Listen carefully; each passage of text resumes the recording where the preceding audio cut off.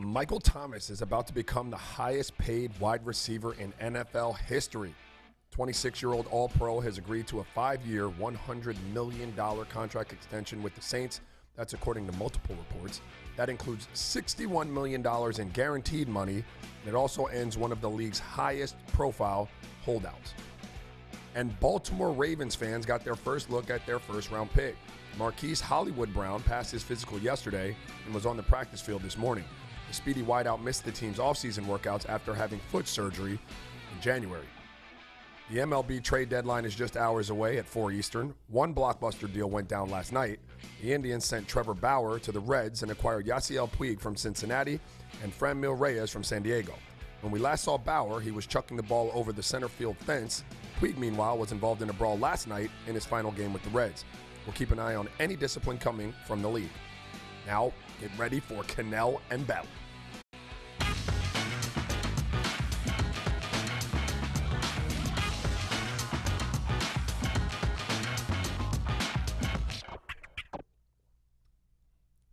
All right, what's going on? Welcome to Kanell and Bell. Look who's back. My boy is back in town, and now I'm not in town. I'm up in New York City here for some CBS. We have a college football seminar. Like that means we're that much closer to college football. A But it's good to see you seminar? What do you what do you mean a seminar? What does that mean? So every network does this. Like when I was at ESPN, they do, they did this. Fox does it.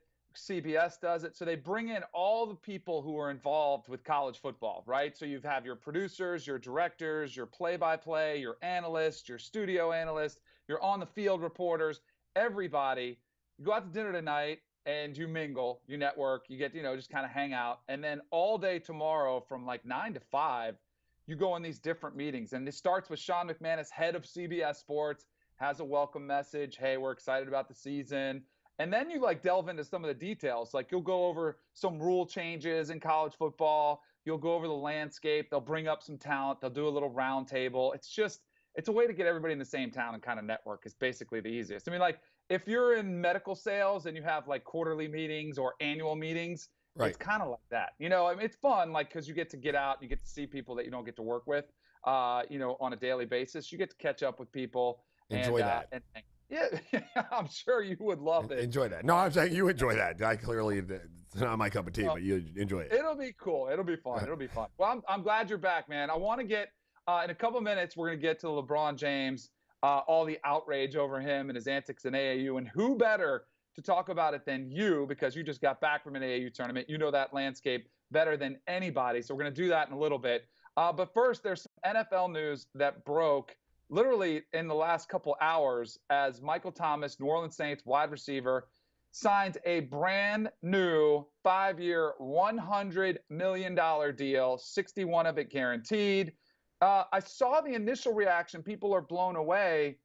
Uh, I'm not that surprised. The kid's been unbelievable since he came out of Ohio State. Drew Brees is getting into his potential last year. I mean, you, you kind of can see the light at the end of the tunnel for Drew Brees. You know, and absolutely on the back end, is it one year, is it two years? Who knows? But it's not much longer than that. Michael Thomas was holding out. So I felt like he had a lot of leverage because there is a sense of urgency in New Orleans. So I'm like, well, yeah, this makes sense. I mean, the, the salaries go up. It's all about timing. And because he's the most recent top five wide receiver, he's going to get this type of deal. Yeah, I think the outrage. I mean, I don't know why this happens in the NFL, but it seems like if anybody other than an offensive lineman or a quarterback gets paid substantial money um, and, and gets a huge signing bonus, people are outraged. I don't. I, I too don't see the outrage in this. Uh, he led the NFL, you know, in receptions last year. Um, he's got the highest total for first three years in the NFL in terms of you know a receiver. Uh, he's he's durable. He you know they're positioned to where they have to win now to the point that you just made. Uh, he leveraged his situation.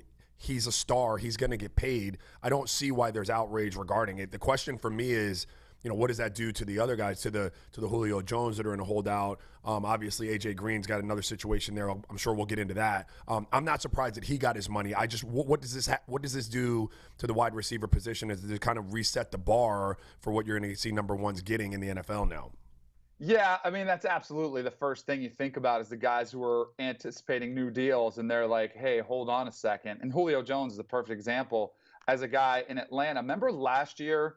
Remember he took down his Instagram page and he like deleted everything Yeah. associated with the Falcons and And then they gave him like they reworked his deal and said, "Hey, trust us. We'll take care of it down the road." Well, now Julio Jones says, "I don't need the preseason to get ready." No, I think he's he's spot on there. But if I'm Julio Jones or I'm Julio Jones' agent, I'm looking at this deal specifically and saying, you know what? He may be a little bit younger than me, but I've had a lot more success. Odell Beckham got paid. Antonio Brown got paid. You guys need to step up and pay me. And it's a little bit different because I don't think he has quite as much leverage because of uh, Antonio, or excuse me, Matt Ryan is not, you know, in the same age and stra- you know, a uh, part of his career that Drew Brees is in. But still, at some point, you've got to look at the whole landscape and say, man, it's time to pay me. And but as far as uh, Julio Jones skipping the preseason, I'm not shocked at all. I don't even think it's. I think if he had a new deal, I would skip the season, the preseason if I was him. The preseason to me has completely become irrelevant. It has become um, just there's only bad things that can happen. There's no for a guy like Julio Jones especially, there is nothing, there's no upside to playing in the preseason. Zero. So why yeah, play? You've made that point over and over again and I, I have countered it, but I guess in my heart of hearts, I understand what you're saying. Like why why go out there and risk it, you know, for a guy like Julio Jones. You know what you're going to get. You know, when you hop out there on opening day, you've done it for I don't know, 6 7 years. You're 30 years old. You you, you don't need those reps. Um, in, in preseason games and risking injury like that. I would I would say though that like while you said, uh, you know, Matty Ryan isn't in the same breath as Drew Brees, clearly Drew Brees is a little older, um, but I don't trust Matt Ryan as much. You know, the the one argument that I would make uh, where Julio might not have as much leverage is, you know, they've got Calvin Ridley over there, um, and they got a really good number three receiver in Atlanta, uh, and and I don't know that the Saints had that. Like Michael Thomas almost had 100 more catches than the second most, um, you know, catches by a wide receiver in, in New Orleans. So he's way more integral in that you don't have – you know, a guy who can really kind of replace some of those catches. But I don't trust Matty Ice, and I don't know why. Why does he get that type of cachet with his name? He's done nothing. I'm asking you, Danny. Like, what? Why is Matt Ryan mentioned in the same breath? As a Drew Brees, he clearly doesn't have the same type of resume, and he's not on the same level as quarterback. Like, is that is that fair? Well, I mean, I that's, oh yeah, it's absolutely fair. But Drew Brees is in a top, you know, I mean, he's all-time leading passer as far as yardage goes. He's got the Super Bowl under his belt. Matt Ryan does have an MVP. He does have an MVP season under his belt. And he did have a 28-3 lead against the Patriots, which of course was blown by his defense. But there are some haters. There are some people that look at Matt Ryan and say, "Man, I think he's overrated or whatever it is." I think he's properly rated. I think he's a franchise quarterback who can win you a Super Bowl. And I think that's what every franchise should look for in a guy. Um, and it's one of those like I, he's he's better than Andy Dalton with the Bengals, or he's better than some serviceable guys. Like he can elevate his game to the next level. And I think the thing with Matt Ryan that's uh, interesting, he's been through so many offensive coordinators. When it was Kyle Shanahan, then it was Steve Sarkisian. Now they're back to um, uh, Dirk Koetter, the guy from the Tampa Bay Bucks, who was head coach. Like he's been through a lot, and yet his play has still uh, been at a high level. So I think you know I think he gets knocked down sometimes, uh, sometimes, sometimes unfairly. But he's getting he's been, around for a while uh, as an Atlanta Falcon. The thing I thought was, go ahead. No, I mean I didn't mean. I, I, I guess I'm throwing shade at Matt Ryan, but I guess you know, like to think that he's the. T- I don't view him in the breath of quarterback that like if you don't have any weapons around him, he's still going to put you on his back and he's going to be able to go out there and do that. Do you know what I mean? So like when you said that Drew Brees needed, um, you know, Michael Thomas because you know he's older. Then it, it, made me feel like you were alluding to the fact that you know Matt Ryan. It doesn't matter what you put out there with him, he's going to be able to get it done. I guess I just don't view him like that.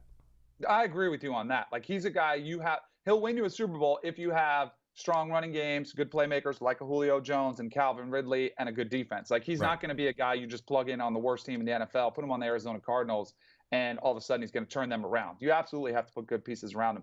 Always look for the guaranteed number in these deals. Michael Thomas, 61 guaranteed. Everyone's freaking out because it says 100 million. It's fake money. It's funny money. 61 is the guarantee. Odell Beckham still the highest paid as far as total guaranteed, 65 million in his deal, uh, which he signed with the Giants. Uh, 90 total value, but the 65. Always look for that that number. It's different than any other sport that you look at. Always look for the guaranteed. There's a lot of monopoly money on the back end of that one.